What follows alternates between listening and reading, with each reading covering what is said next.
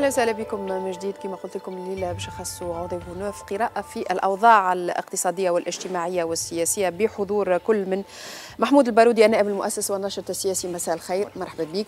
أيضا يسعدني أنه يكون معنا محسن نابتي القيادي في التيار الشعبي. مساء الخير مرحبا بك. عايشك مرحبا. وأيضا وليد جلاد النائب عن كتلة الائتلاف الوطني. مرحبا بك وليد. أهلا وسهلا وشكرا على الاستضافة. مرحبا بك. قبل ما نبداو في النقاش مع ضيوفنا نمشيو تقرير يلخص لنا أوجه الأزمة الاجتماعية والاقتصادية في البلاد وأيضا مختلف الاحتجاجات اللي عاشت على وقعها تونس مؤخرا في تقرير زميلنا ناجح فالحي.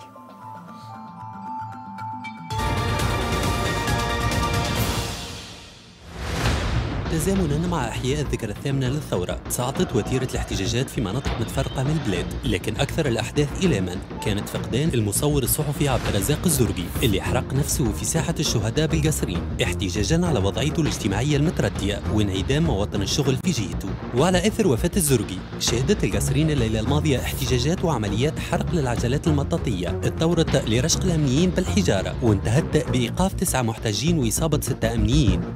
الوحدات الأمنية حاولت معناها يكون معناها التعامل مؤثر لتفادي أي انحراف في الاحتجاجات هذه اللي تواصلت تقريبا حتى النص الليل وربع اسفرت على إيقاف تسعة أشخاص كذلك إصابة سته أمنيين.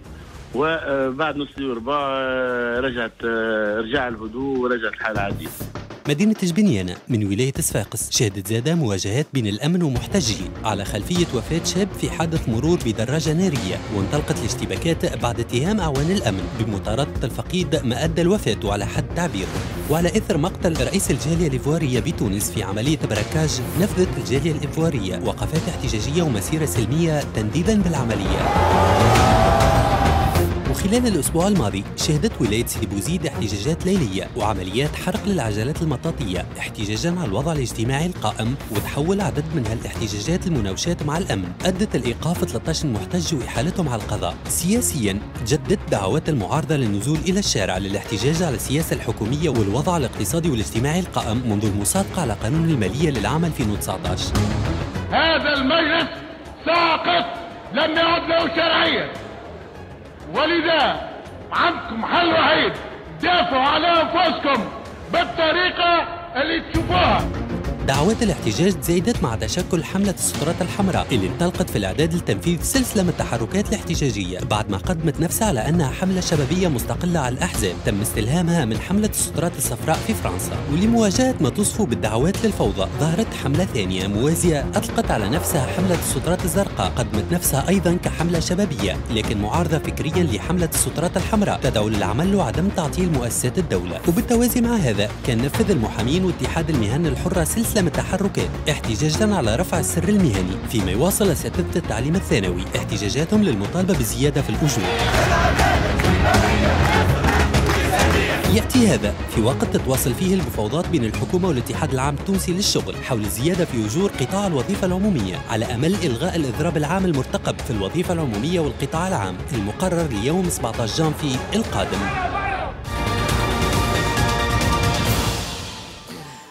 تقريبا كانت هذه الصورة في مختلف أو في مناطق مختلفة من البلاد ولجلاد سيدي بوزيد جبنيانة اليوم القاصرين على خلفية وفاة المصور الصحفي عبد الرزاق الزرقي الأسباب والخلفيات تقريبا كلها معلومة. حتى الجالية الإيفوارية والمسيرة اللي شفناها اليوم في العاصمة وضع محتقن اجتماعيا واقتصاديا. أزمة سياسية تنجيوها بعد لكن هذا الكل قاعد يرجع بالنتائج اللي قاعدين نشوفوا فيها الكل كيما اليوم. زميل صحفي عبد الرزاق الزرقي فد من كل شيء خلى كل شيء والنتيجة كانت شفناها اليوم. البارح العشية بيتا. اولا نحب نترحم وترحمنا كلنا وتألمنا على وفاة عبد الرزاق معناتها. وإن شاء الله تونس تتألم. هذا واقع. وشبابها يتألم وهذا واقع ما نجم ينكروا حتى حد. الطريقة إن شاء الله إن شاء الله ما تكونش جريمة مدبرة. إن شاء الله كما قاعدين نسمعوا إن شاء الله ما تكون جريمة مدبرة. أما في حد ذاته الاحتجاج خليني نرجع لك على احتجاجات و وديسمبر وشهر جانفي من كل سنة حتى تقريبا ثمانية سنوات نعيشوا فيهم. وحتى قبل الثورة كانت ديما المطالب الاجتماعية تكثر في شهر ديسمبر وشهر جانفي والاحتجاجات تكثر. والاحتجاج هو حق دستوري. لكن الاحتجاجات الليلية هذا تقليد سيء. ورينا الدول اللي صارت فيهم الاحتجاجات الليلية اللي تركب عليها رغم اللي المطالب شرعية. شفنا الناس اللي تحب تحتج وعندها حق وحق يكفلوا الدستور تحتج صباح للضرب العام يصير الصباح المحامين ضربوا واحتجوا واحتجوا الصباح وهذا حقهم. كيف كيف آه، الاساتذه لكن كونه تولي عاده في تونس الاحتجاجات الليلية والتظاهرات الليلية. هذا تقليد سيء. شفنا إيش عمل في سوريا وشفنا إيش عمل في اليمن وشفنا إيش عمل في ليبيا. وضع اجتماعي صعيب وظروف اقتصادية صعيبه ما ينجم ينكروا حتى حد. نتائجه وشكون المتسبب فيه ومسبباته كل نجم نحكيو فيها الوضع نكونوا واقعيين وضع حتى حد ما عاجبه الوضع هذا. الوضع اللي في تونس الوضع الاجتماعي والاقتصادي. أما تقريبا مازال يفصلنا عشرة أشهر على الانتخابات. مش نحبوا نعملوا. نسقطوا باش نحتجوا الاحتجاج على مطلب شرعي. داكوردو حق. ما نجم يناقشوا حد. باش نسقطوا الحكومة أو باش نسقطوا النظام. باش نسقطوا نظام ديمقراطي. باش نجيبوا شنو؟ نظام باش. نظام نتاع ميليشيات. باش نعوضوا الحكومة بنا آلية. شنو هي الآلية؟ الشارع ويمشي الشارع ويمشي يعطينا. الناس اللي تطلب الإسقاط. إسقاط الحكومة نحكي نحب نفصل حاجتين مهمين جدا. المطالب الشرعية والاحتجاجات عليهم حق شرعي منجم منجم ينكروا حتى حد. منجم يرفضوا حتى حد. لا حكومة ويكفروا الدستور. لكن إذا كان يولي المطلب سياسي إسقاط الحكومة وتصفية حسابات سياسية عبر الاحتجاجات الليلية. تولي المستهدف هو الوطن. هاو هنا هنا هنا المفصل. فاش كي يقول لك هنا المفصل؟ في السودان يحتجوا يحبوا يسقطوا يسقطوا نظام مش ديمقراطي. احتجينا نحبوا نبدلوا الدستور مش نحبوا نعملوا. فما مش نحبوا نحيوا الناس اللي تحكم نصبروا شوية عشرة أشهر. والصندوق هو الفيصل. نحتجوا باش نحتكموا الانا الانا آلية. باش نجيبوا باش نجيبوا باش نعملوا حوار وطني حوار وطني يدوم أربع خمسة شهور. حوار وطني الأخير. تو نلقاو رواحنا قدام انتخابات. قدام انتخابات. المطالب مشروع. لكن نحكي أنا مانيش نحكي. نحب نأكد مرة أخرى. مانيش نحكي عن الناس اللي عندها مطالب شرعية. ولا مشروع. كيما المو... كيما المعلمين كيما الإضراب العام كيما الأساتذة كيما المحامين كيما كيما المهمشين. لكن في تونس معلش نقلدوا في الاحتجاجات الليلية ونقلدوا في التقليد الأعمى اللي شفنا أنظمة صار فيها وقت اللي طاح النظام في 17 ديسمبر و14 جانفي ما كانتش احتجاجات ليلية. كانت قد في الصباح وفي النهار وقدام الناس كل وفي قدام وزارة الداخلية. لكن كي تولي احتجاجات ليلية تعرف شكون يركب عليها؟ يركب يركب عليها الكناتر ويدعمها المجرم ويدعمها السارق. رغم اللي يتكلم فما فئة تنجم تكون مطلوبة. خلينا في المشروع. لكن خلينا في, في الاحتجاجات المشروعة واللي واضحه الاجتماعي معاك. به جوستومون المطلب الاجتماعي. توظيف سياسي. واضح والغاية منه هو إسقاط الحكومة. صبرا جميلا بعد عشرة أشهر تفضلوا حاسبوا الحكومة هذه واضح. وإلا منظومة الحكم هذه عبر صناديق الاقتراع. وهذا وهذه الآلية الديمقراطية الوحيدة وهذه علاش إحنا إحنا قعدنا نمشيو ديريكت معناها؟ انت حكيت حكيت في الجانب في الجانب السياسي واسقاط الحكومة وما إلى ذلك لكن خلينا نمشيو للظاهرة. هذا مطلب مطلب. نمشيو. مطلب مثال نحكي على السترات الحمراء. قالوا الهدف منه واضح واضح آه جايين جايينها السترات الحمراء. نجي معك محسن النابتي محسن النابتي باش نعطيك بالأرقام. على الأقل المظاهر اللي قاعدين نعيشوا فيها المجتمعية اليوم الانتحار 281 حالة إلى حدود أكتوبر. 45 حالة دون 15 سنة. هذه الفئة العمرية الهجرة نلقاو اليوم هجرة منظمة وهجرة الكفاءات والأدمغة وعندنا الحرقة اللي نعرفوها الناس الكل. 55% شباب تونس يرغب في الهجرة 56% يرغبوا في الحرقة. كيفاش نجموا نفهموها؟ نعملوا قراءة نتوقفوا شوية عند الأرقام هذه. كيفاش نفسروها الأرقام هذه؟ شكرا على الأرقام. آه، اولا نقدموا بالتعازي لكل الصحفيين في زميلهم ولعائلته ولكل الشعب التونسي. كذلك تألمنا برشا اللي حصل لرئيس الجالية الإيفورية وهي مأساة وتونس الحقيقة تستاهل خير من هكا ما تستاهلش هكا معناها يصير فيها. الأرقام إضافة الأرقام اللي تفضلت بها سيادتك عجز ميزان تجاري 15.9 عجز ميزانية نسبة تضخم 7.5 رقم قياسي مديونية 75% بيض زاد الأعظام زادت 22.7 ولت مفقودة أحليب ما ثماش معناها خضرة زادت 12.7 هي شنو يحبوا من الشعب التونسي معناها؟ السميد ما ثمش في بالك؟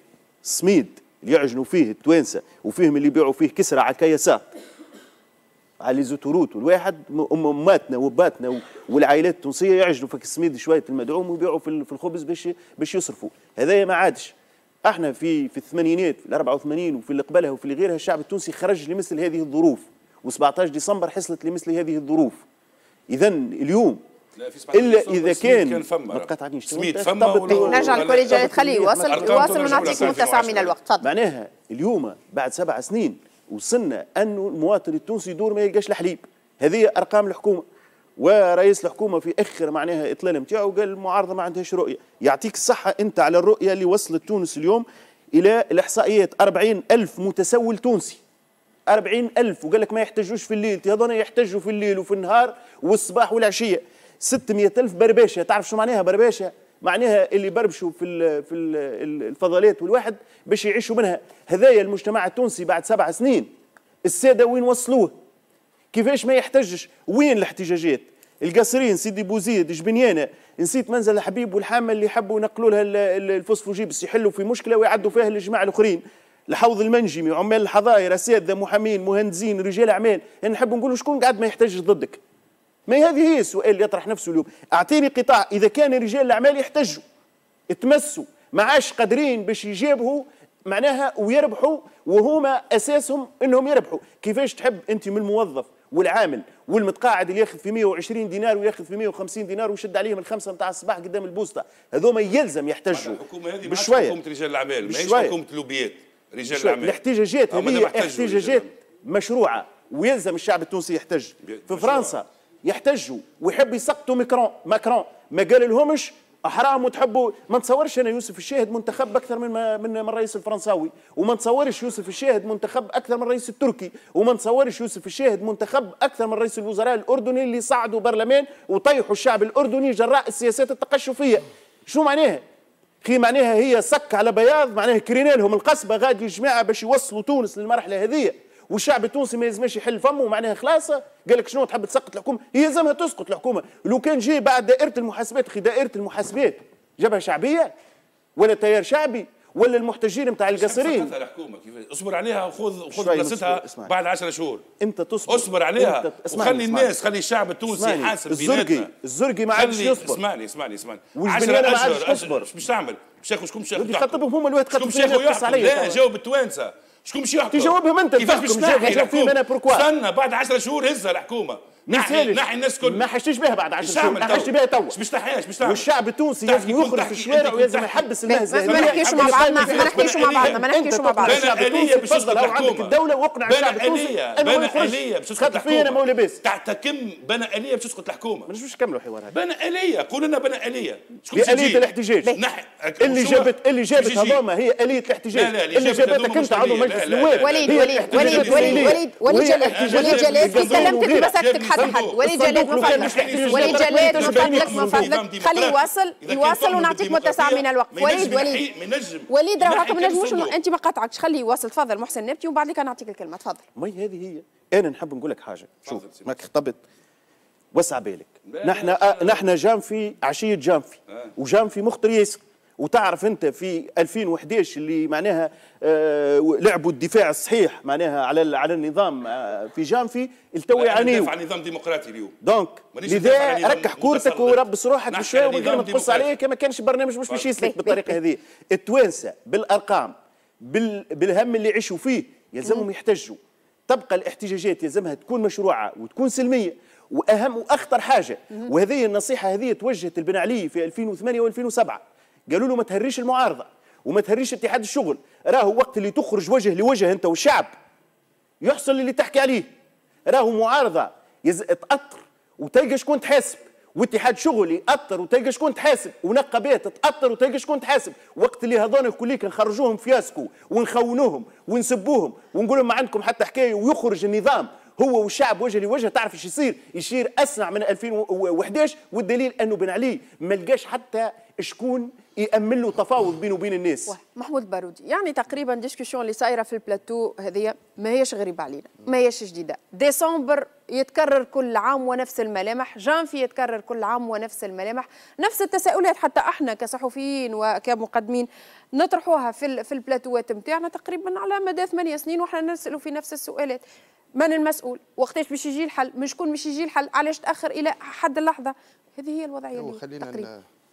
نكونوا واضحين ساعة إحنا ما نجي باش ندافعوا على الحكومة لهنا ولا ضدها ولا معاها. الحكومة عندها ثلاثة اشهر وتونس عندها 3000 سنة. إحنا جايين باش ندافعوا على تونس اليوم لأنه تونس اليوم في منعرج خطير وخطير جدا. والأخطر من هذا الكل إنه الظرف اللي تمر به الحكومة هذه على عكس الحكومات السابقة في السبع سنين والثمانية سنين إنه هي وحدها.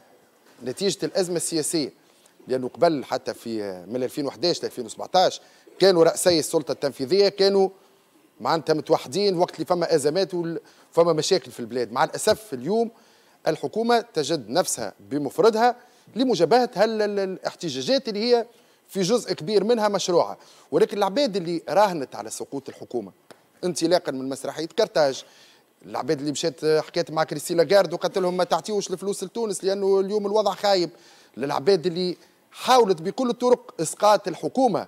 اليوم عندها فرصة بالنسبة لها هي تاريخية وقاعدين فرحانين العباد وتنتظر في الفرصة هذه من أجل إسقاط الحكومة.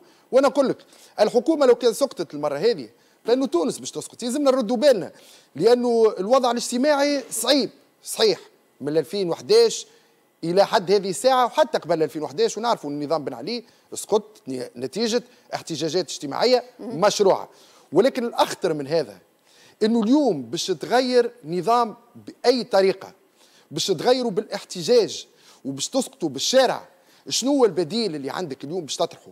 اليوم البديل الوحيد هي الفوضى. هذاك علاش إحنا يلزمنا نفرقوا ونقولوا راهو الاحتجاج مسألة مشروعة في الصباح العباد تحتاج ما فماش حتى مشكلة. ولكن إنه نراهنوا إنه نطيحوا بلادنا. نطيحوا بلادنا نطيحوا بلادنا. باش نفرضوا حالة معينة أو كما كانوا يقولوا لخيان حوار وطني على بعد عشرة أشهر من الانتخابات التشريعية والرئاسية فهذا يصبح عبث باش نرجع لكلامك محمود بارودي وكأنك تقر انه هناك أزمة بين رئيسي السلطة التنفيذية رئيس الحكومة ورئيس الجمهورية. في الوقت اللي هما كل ما يحكيوا ينفيوا وجود هذه الأزمة يقولوا الأمور على ما يرام مو باش ما نستبلهوش العباد واحد. تونس كاملة تعرف اللي فما أزمة سياسية. وفما أزمة سياسية كل طرف يتحمل فيها جزء آه، آه، معين من المسؤولية. ولكن تصبح الأزمة السياسية هذه في يد طرف من أجل إسقاط خصم سياسي موجود معاك في الحكم في الهنا الخطر وهذا هو اللي يلزم ننبهوا منه التوانسة. راهو اليوم رينا شكون اللي يحرض ويعمل في السطورات الحمراء؟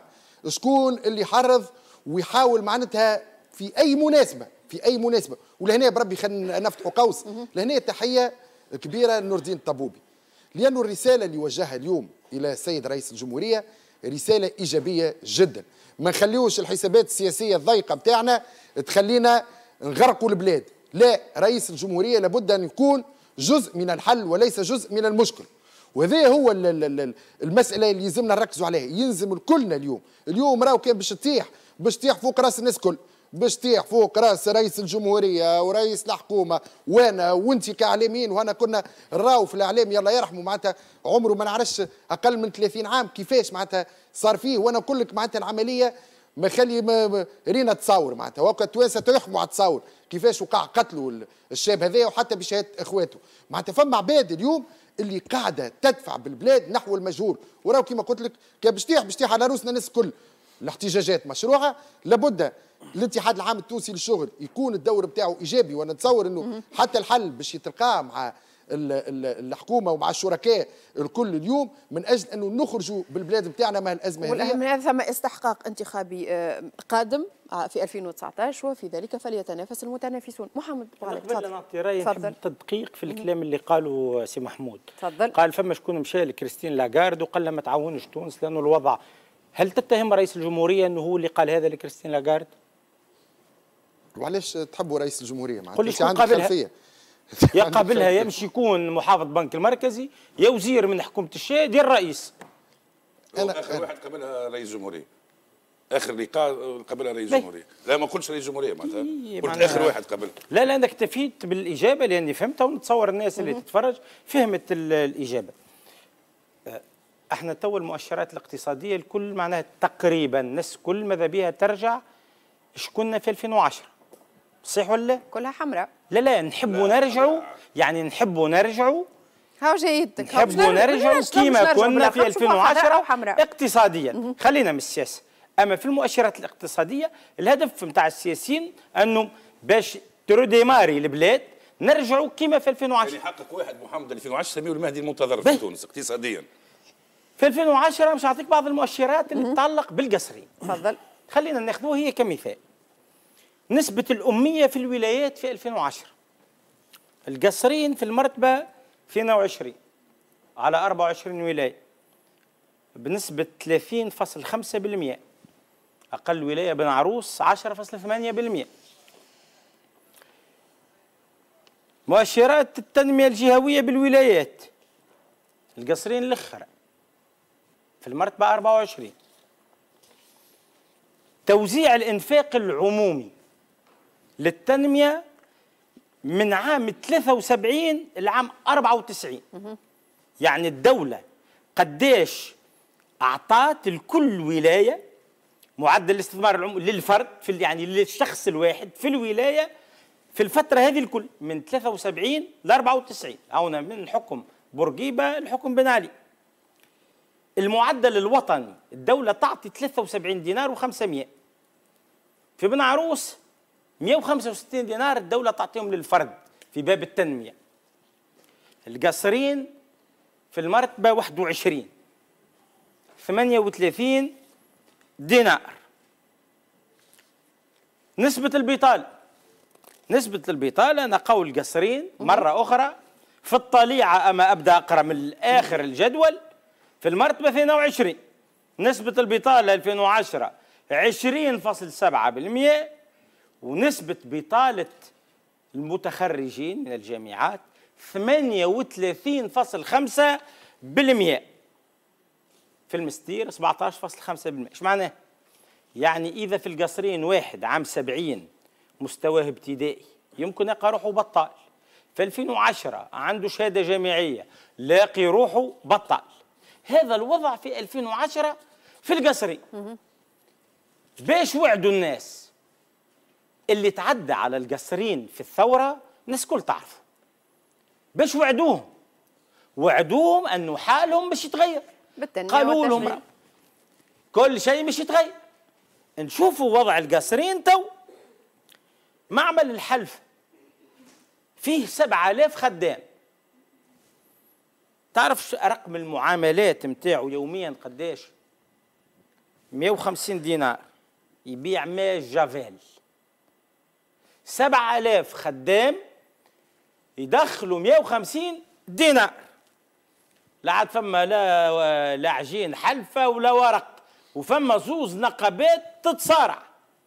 في وقت عفيف شلبي كان وزير الصناعه تعملوا 42 وحدة نتاع تكستي. لا فايدة باش نقولوا العلامة يعني هي علامة فرنسية. توا ما بقاو كونش أربعة أو خمس. معدل إنجاز أي مشروع في القصرين. من الفكرة للإنجاز هو سبع سنين. ثم مشروع مدرسة. هذا مشاريع الدولة ما قلناش الأفراد. مشروع مدرسة في العيون. العيون هذه هي ثاني أفقر معتمدية في البلاد. مش يعملوا فيها مدرسة. الميزانية مرصودة من عام 2009 لليوم ما تحطتش حجرة. حركة العمد. ما قلناش معتمدين حركة العمد في القصرين. ما تعملتش. تعرفش علاش ما تتعملش لأنه النايب نسمي الأحزاب يا سيدي. النائب الاقوى من النهضة يجيب هو ليسته للسيد الوالي. والنائب الأقوى من نداء تونس يجيب ليسته للسيد الوالي. من لا ينجم يرضي لا هذا لا ذاك يخلي العمد كما هم نختم لك. نلقى في موقع إذاعة قفص تصريح بتاريخ 1 سبتمبر 2015 لرئيس البلدية القصرين آنذاك سي رضا العباسي إيش قال؟ قال تم الاتفاق في ولاية القصرين على تهيئة مساحة 300 هكتار باش يعملوا أول مدينة إيكولوجية. هذا في 2015 وقال الوكالة العقارية للسكنة هي اللي باش تعمل المشروعات. قلت هذه من 2015 هذه راهي تبنى تشترها. هزت التليفون وطلبت الرئيس المدير العام للوكالة العقارية للسكنة. قلت له يا سي محمد خامس هالمدينة هذه تحطتش حجيرة فيه؟ قال لي لا. راهو المشروع هذا ما عملنا فيه شيء. لأنه ما توفرتش العرض. وراهي لا فيهاش الدولة معطاتها كان في صبيط 100 هكتار. بقي أنا قاعدين نحاولوا في البلديات ونقولوا لهم ألقوا لنا أراضي. باش إحنا نجموا نبنيوا لكم. نعطيك خبير باهي من القصرين المتحف الأثري بحيدرة. هذا تم افتتاحه مؤخرا. أي به. على تعرف قديش قديش قعد مسكر؟ 11 عام. واضح. به. أني بالقصرين. ونعملك التشخيص هذا. نحرق روحي ولا؟ واحدة منهم. يا نحرق اللي يحكمني يا نحرق روحي. ونحرق اللي يحكمني من اللي بدأت الثورة. من اللي بدأت الثورة. لأنهم كلهم وعدوا. هما وعدوهم. قالوا لهم حالك باش تتغير. بينت لك أنه حالهم ما تغيرتش. شنو تحبوا يعمل؟ يحرق بطرق مختلفة يرمي روحه في البحر. هو وقت اللي يتحدى القانون ويفسد ويتناول الحرابش هذا كان كله شكل من أشكال الاحتراق. أنت كدولة شنو أعطيته؟ حتى الأمل ما أعطيتهولوش. justement وليد جلاد هذايا قراءة برقية عطاها لنا محمد بوغلاب على الأقل في واقع القصرين بخلاف باقي آه، ولايات الجمهورية. اليوم المواطن اللي في مختلف المناطق هذه مش لاني مش نقول مناطق مهمشة لاني مش نقول مناطق آه، داخلية. هو ابدا من العاصمه لبنزرت البرج الخضراء تقريبا نفس الإحساس. فقدان الأمل في النخبة السياسية لأنه الوعود التي قدمت بقيت حبرا على ورق. إحساس بالقهر بالقهر وبالظلم وب- وفقدان سبل العيش الكريم آه، اللي اللي نادى به مازال ينادي به 2010 حتى يكشي 2018 تقريبا نفس المطالب. en contrepartie نرجع لك على المؤشرات. علاش نقول لك مؤشرات حمراء؟ اليوم نلقاو ال- الدينار تقريبا وصل ال- ال- المنحى قياسي ومستوى قياسي في تاريخه. 3.4 آه، آه، واحد أورو يسا- يساوي 3.4 دينار. مدخرات العملة الصعبه تكفينا فقط ل 80 يوم توريد. العجز التجاري وكل ذلك إيه؟ شنو تحب يحس أنا كمواطنة عادية وعايشة في وسط كل هذه المؤشرات وكل هذا الواقع المرير كيف يتصرف المواطن في وسط كل هذا؟ اولا الوضع وديما ناكد ما قلتلكش الوضع باهي وكان المهبول اللي يقول اليوم الوضع الاقتصادي والاجتماعي في تونس باهي donc خايب حاجتي برؤية لا، وتصور أس- أين الرؤية. وأين التصور أسمعني أسمعني أسمعني.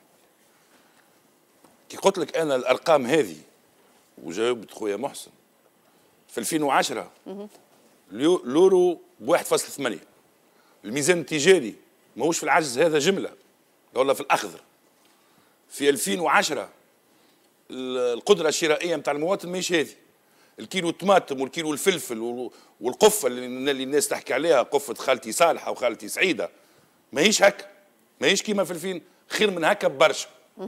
رغم هذا صارت ثورة. رغم هذا رغم الأرقام هذه كل صارت ثورة. اللي اليوم الناس كل تتباهى بالأرقام مش نحكي على أرقام الجهات. فما مشكل في حتى قبل الثورة فما مشكل كبير. هو عدم التوازن آه، في في توزيع الثروة. هذا هذا واقع ما نجم ينكره حد. رغم هذا قامت ثوره ماهيش فقط الأرقام. وق- كي قامت الناس احتجت على نظام سلطوي أو متسلط. مش ما نقولش نظام مانيش مقتنع على نظام ديكتاتوري نظام متسلط نقول. به. اليوم عندك دستور جديد. عندك نظام ديمقراطي. عندك طبقة سياسية فشلت فشل وكان فشل راهو الفشل مش الحكومة الحكومة هذه. هذاك علاش قلت لك كان نحبوا نحكيو تو نحكيو الفشل تداعياته. خلينا نقول لك زوز أرقام أنا نحكي لك على الفشل. زوز أرقام اقتصادية. وأعطيني كيفاش العملة نتاعنا والميزان التجاري نتاعنا ما تحبوش تضرب. في 2010 ننتجوا في 110 ألاف برميل يوميا برميل نفط. اليوم 2018 خلي التوانسة تعرف. في 40 ألف برميل نفط. في 2010 كانت مد... مدخول الدولة التونسية الدولة قلت لا قلت الحكومة الدولة التونسية من إيرادات الفوسفات 2.8 مليون دولار. اليوم في 2018 مدخول الدولة التونسية من الفوسفات 0.4 مليار دولار. مليون ما نعرفش أنا مليون مليون مليون مليار مليار مليار دينار. أنتم تحكموا خليني لا خليني نقول لا في التشغيل هاني جاي هاني جاي لا هاني جايك هاني جاي. قول لي في 2010 قداش يخدموا في الفوسفات؟ يخدموا 8000 اليوم قداش يخدموا سي محمد؟ أضرب في الأربعة. 32000 موطن شغل مباشر وغير مباشر. 32000 في قداش ننتجوا فوسفات؟ في 3 ملايين طن. 8000 في 2010 قداش كنا ننتجوا فوسفات؟ 8 ملايين طن. 8 ملايين طن. شكون خليني خليني نقول خليني نقول اللي سكر لك اللي سكر لك المغاسل فما فما تتفرج فما سلك. أيوه. تتفرج. الحكومة والحكومات دفعت ثمن السلم الاجتماعي. ثمن اللي صار في تونس بعد الثورة سلم اجتماعي. سهل صارت فضيحة الدولة في الكامور تونس كاملة تفرجت. مش حكومة برك. سلطة ومعارضة. والناس اللي سكرت في الكامور وسكرت فانا نتاع فوسفات فضيحة الدولة. عندك قانون علاش ما تطبقوش عندك قانون وليد جلال علاش ما تطبقوش هل الدولة هاني جايك هاني جايك للسؤال الجوهري.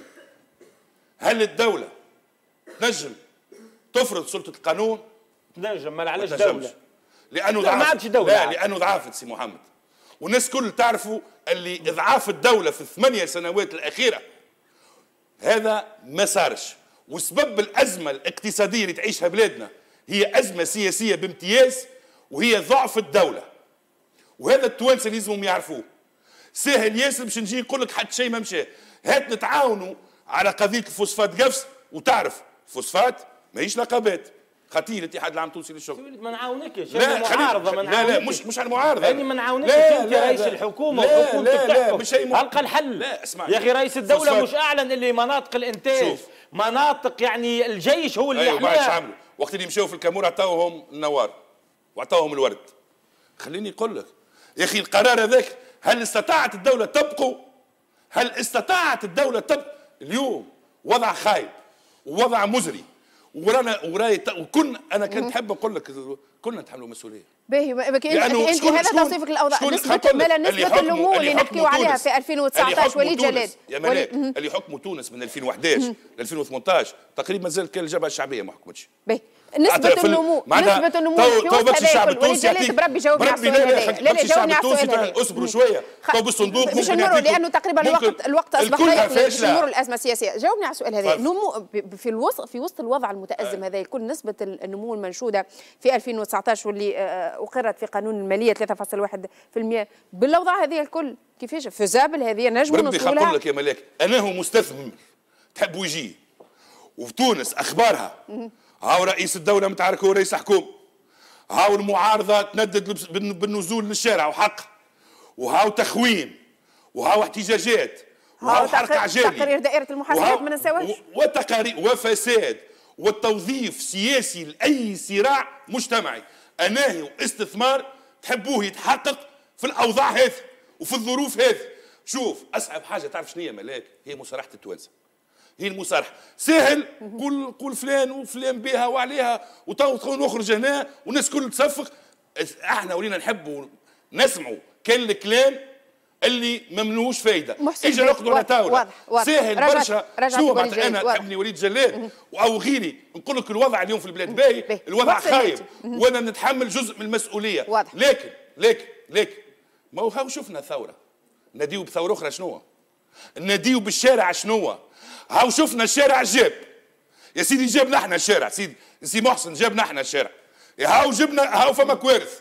إيه نمشيو لكارثة أخرى نافع. نحبوا نشعلوا. بلادنا واضح- واضح. يا ودي راي بلادنا خل... أنا نقول لك حاجة وصلت فكرتك، وصلت. لا ملاك مهمة عادش وقت- جدا ما عادش وقت، ما عادش بالحق وقت. بالحق خليني نكمل في كلمات 30 ثانية. خلينا في نحافظوا على 30 تونس ثانية، 30 ثانية. ونتصارعوا داخل وترها وكل وبعد فما صندوق فما آلية ديمقراطية راهو مو من مصلحة حتى حد ياخذ دولة ضعيفة راهو إضعاف الدولة اليوم ممكن تفرح له خاطر أنت في المعارضة. غدوة كي تولي في السلطة يرجع ليك. باهي، محسن نابتي نحكيو على الأقل ما نحكيو على مطالب تنمية وتشغيل وتحقيق ال- الثروة في المناطق هذه المختلفة. المستثمر يقول لك أنا كي باش نجي البلاد علاش نجي؟ أول حاجة يغزر لها يغزر المؤشرات الدولية والتقارير الدولية اللي تصير فيها تصنيفات لكل الدول باش يشوف. يشوف الوضع الأمني في البلاد يشوف أيضا ال- ال- ال- المؤشرات اللي قاعدين نحكيو عليها الكل. معنا اليوم تقريبا وضع متذبذب في جميع في الأوجه نتاعو الكل. كيفاش باش يجي الاستثمار في ال- الداخلي؟ والخارجي كيفاش يجي الاستثمار في مختلف المناطق الداخلية؟ ونحن على هذا الوضع. المستثمر يقول لك ما نجيش أنا ما نغ- عندي فلوس نحب نستثمرها ونحب نربح من contrepartie donc ما يبندرش ما يجاز ما تصيرش عملية المجازفة بهذا الكل. هذا مؤكد لكن خلينا نتفقوا راهو. ثم فما ناس يحكموا في البلاد ما ثماش أشباح. معناتها فما شكون يحكموا في البلاد؟ عندهم سبع سنين مسؤولين على الخراب هذا اللي حصل الكل. فما حويجات لازم نردوا عليها. كريستين لاغار والعرك. أخي معناتها نحن والشعب التونسي مسؤول على جماعة يتعاركوا شكون يصاحب كريستين لاغار أكثر من صاحبه. هذه واحدة الحاجة الثانية الفوضى والواحد. أنا ننصح الإخوة اللي في الحكومة واللي مساندين الحكومة ابعدوا على نصائح الشركة البريطانية راهي مش باش تنفع.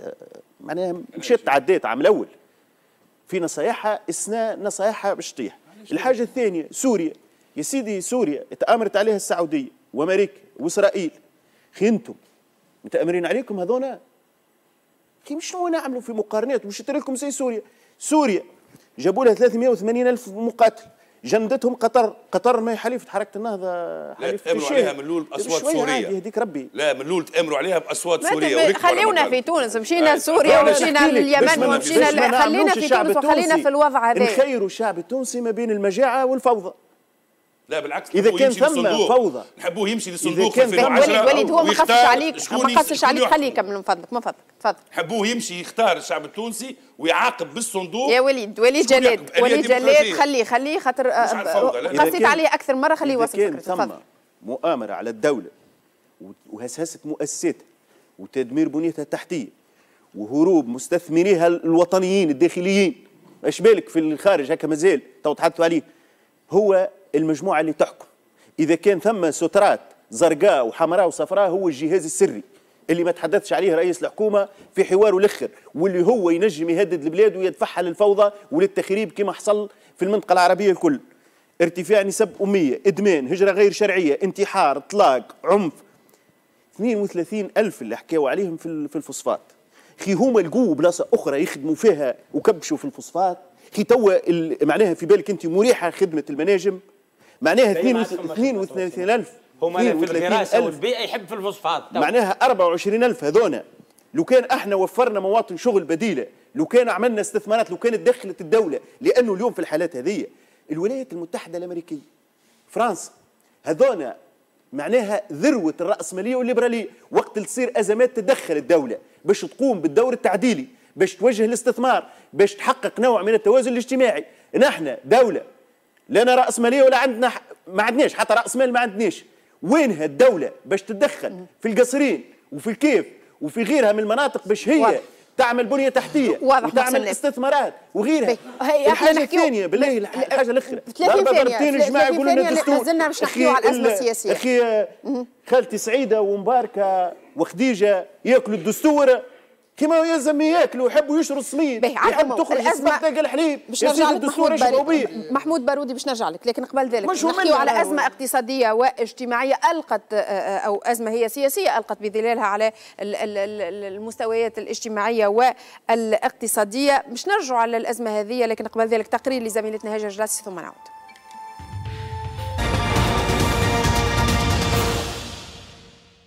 لليوم. ما زالت ارتدادات فك التوافق بين الباجي قائد السبسي وحزب نداء تونس مع حركة النهضة تلقي بظلالها على المشهد السياسي وبداية انزلاق الرابط بين القواعد اللي حكمت بين مختلف الفاعلين منذ انتخابات 2014 التعديل الوزاري اللي أجراه يوسف الشاهد وما رافقه من تجاذبات لتتجه الأزمة لمزيد من التعقيد والتشعب. الانتقال الديمقراطي اللي عاشته تونس منذ 2011 يأخذ منعرج في ضوء تراجع سياسة التوافق وعودة مقولات الاستقطاب وأطروحة الإقصاء. وبالرجوع لجذور الأزمة اللي انطلقت حزبية في داخل نداء تونس ومن خيار إدماج حركة النهضة في الحكومة والتوافق معها مرورا بتصفية الحزب من بعض العناصر الأساسية وصولا لسيطرة حافظ قائد السبسي واتهامه بإضعاف وإرباك الحزب. الحزب خسر الانتخابات الجزئية في ألمانيا ثم الانتخابات البلدية وهو مجر أيضا لإعلان الردة عن التوافق مع حركة النهضة وقلب موازين 2014 وبعد التوافق النهضة في مرمى نيران الباجي قائد السبسي وهيئة الدفاع في قضية اغتيال الشهيدين بلعيد والبراهمي وفتح ملف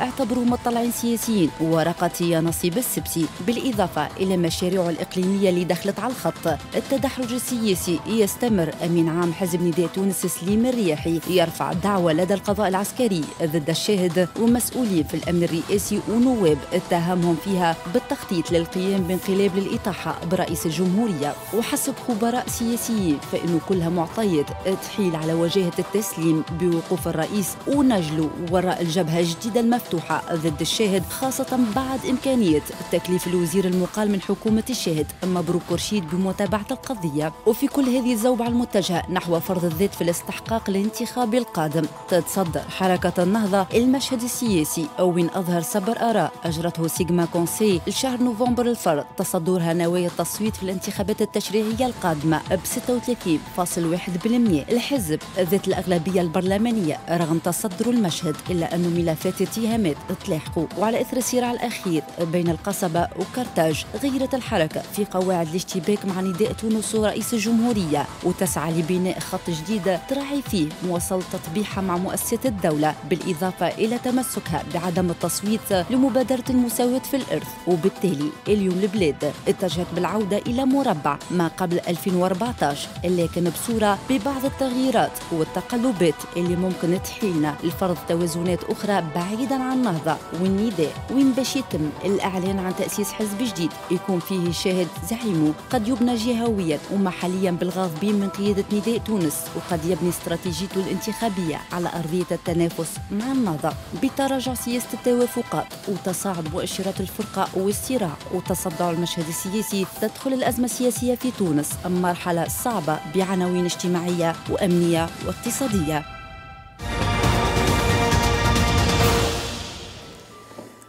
تقريبا هذا هو المشهد السياسي في تونس محمود البارودي. سمعناه مش باش نرجع على تفاصيله. الاتجاه الكل نحو الاستحقاقات الانتخابية القادمة في 2019 سمعنا حتى بعض نتائج سبر الآراء اللي تحكي على نوايا تصويت خاصة في التشريعية 36.1%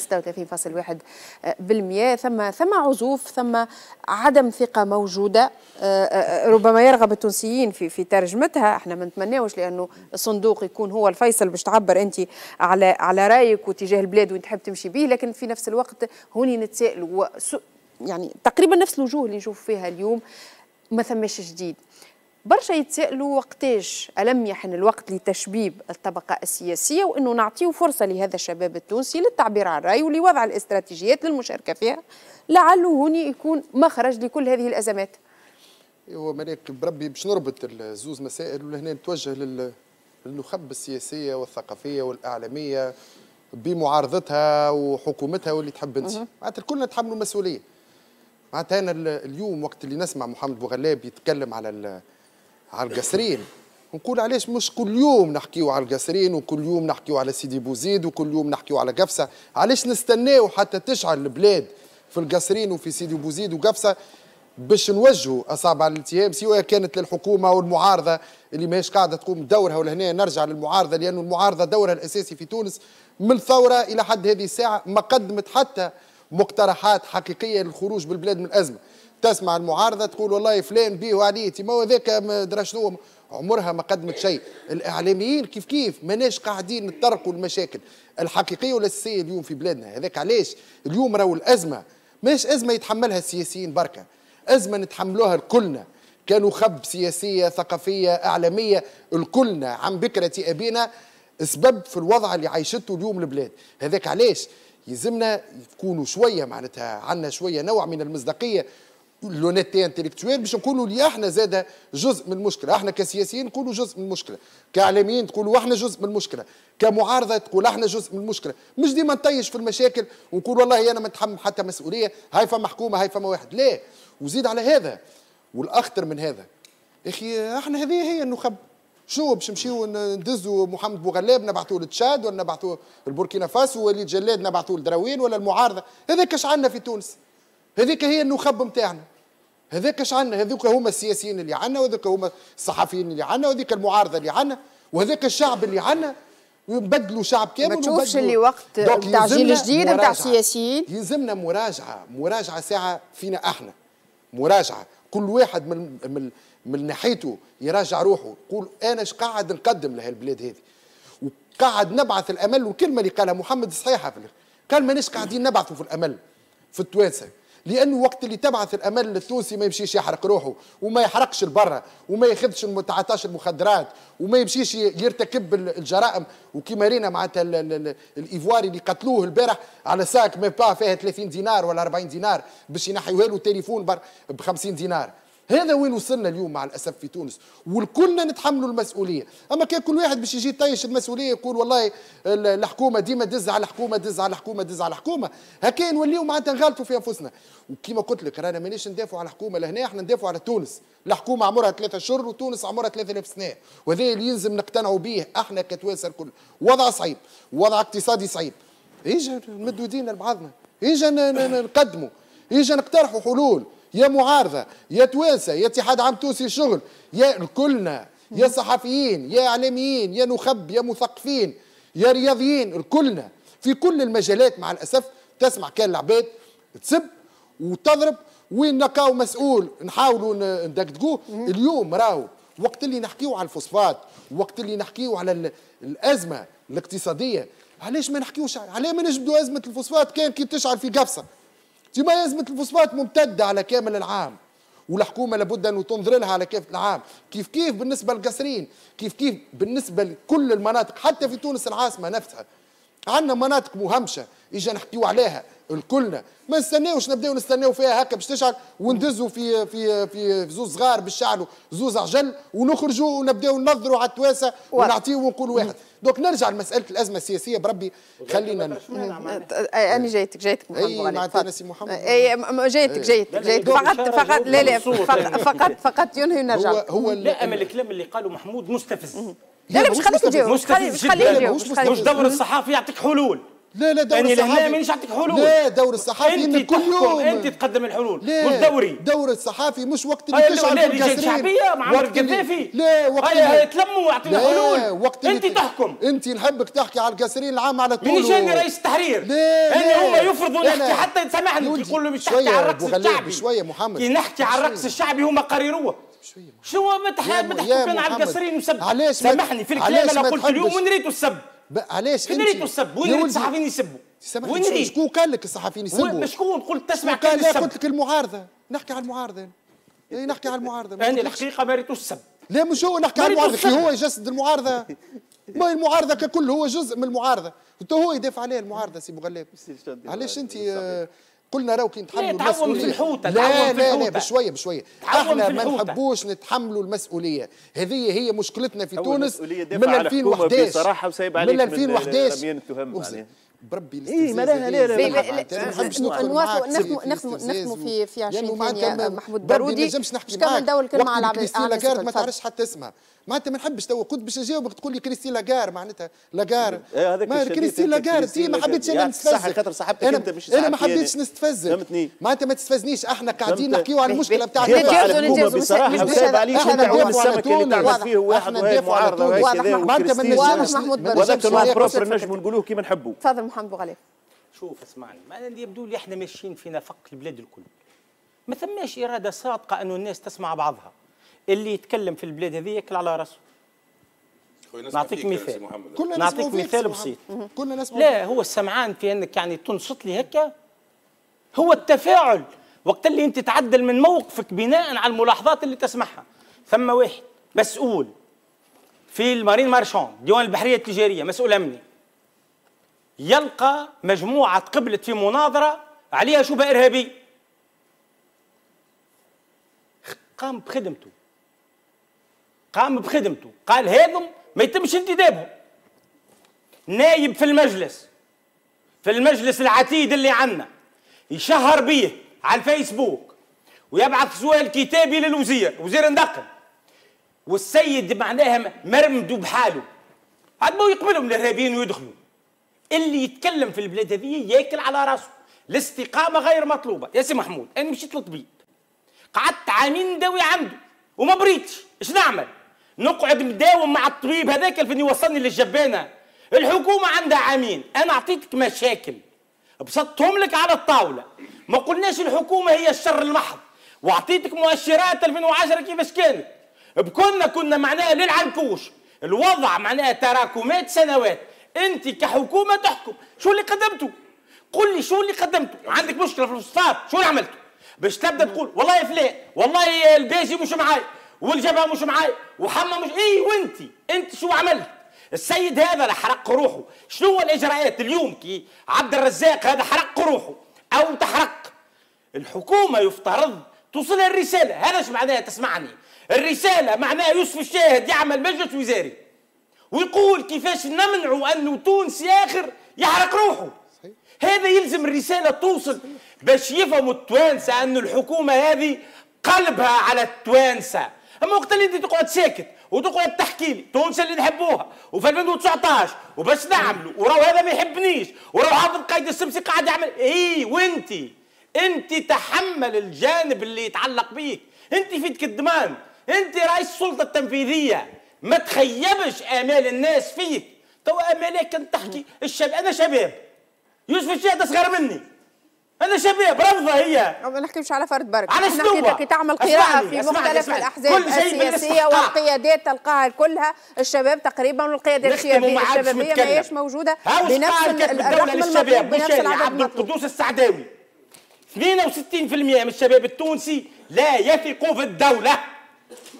هذا كلموهم. تقريبا قولوا لهم الناس هذوما. كيفاش ترجعوا واضح ثقتكم واضح محمد في الناس. هذوما؟ واضح. وليد جلال نحكيو على أنتم قدمتوا يعني وقدم لا- البديل في هذا المشروع السياسي شوية. في. اطار نسمع ونتفاعل نحب يكون نتفاعل مع محمد. أي تفضل. أنا خليني نقول أحسن حاجة عملتها الثورة في في المجتمع التونسي إلى جانب الحريات والديمقراطية هي كشفت لنا على عوارنا. كشفت على الحقد الطبقي اللي عندنا كشفت على عديد الأشياء. أحسن حاجة عملتها عنا. نرجع لمحمد.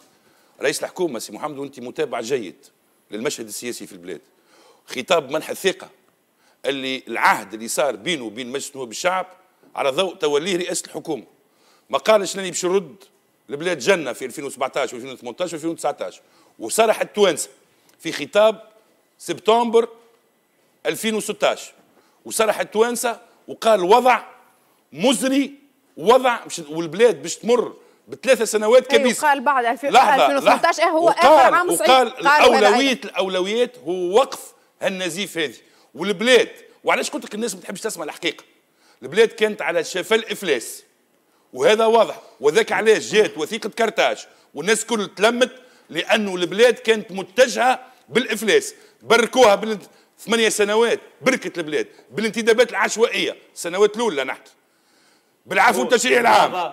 لا الترويكا تسميه. الترويكا الترويكا على راسها تقول النهضة يعني عند الرفيق الت- الأعلى. لحظة النهضة. لحظة الفشل نتاع ثمانية سنوات حكومات متتالية ومتعاقبة هو اللي أدى للشيء هذا وقالوا رئيس الحكومة وفي تحليله البلاد كانت ماشية نحو الإفلاس وكانت متجهة اليوم كانت الأولويات سي محمد يا هو وليد وقف النزيف لا يحلل لحظة. هو قال. لحظة،. لحظة. لحظة، لحظة. يغير لا الوقت. يحلل اي قاعد يغير وقت كي غير غير البلاد البلاد كانت. ماشيه نحو الإفلاس اليوم البلاد فما بداية الانفراج قال سنة 2020 فما إجراءات باش وراو الت- التهديم تهدم الدار تنجم تهدم واضح تهدم جلال. دار في دقيقه واضح، واضح. اما باش تبني راهو. العمل البناء هو نختم معك. نحكيو على اقتصاد راهو نختم معك محسن نابتي تفضل لعل اللي معاكم هو ما لا يهدموا تفضل محسن علاش تتهموا في الاخرين لا نحكي كيما هدموا في في- في الوقت- 2013 في الوقت- عندك ضمانات مش قاعدين يهدموا توا وفالي الوقت تفضل نحن لهم شوف بالمرصاد فما آه، ما يهدم حتى كل حد. واحد يهدم سي فما تفكك. ما. خليه بعد المجال اي واحد حد. قبل ولا ولي جليل انتهى الوقت تفضل فما مشكلة واضحه اليوم مش في يدهم يا. ولي فما كسر عظم. داخل مؤسسات الدولة.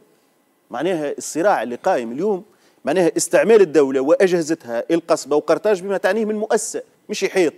معناها في إطار الصراع السياسي للاستحقاق نتاع 2019 هذه الخطورة لأول مرة يتم استعمال جهاز الدولة في تصفية الحسابات السياسية. المعارضة ما عندهاش مقترحات المعارضة عندها مقترحات. هم مش يسمعوا في بعضهم. وميليشيات تاكل في بعضها. فهم بالك انت باش يسمعوا لمقترحات المعارضة؟ هم مش يسمعوا في الاتحاد ما سمعوش المحامين.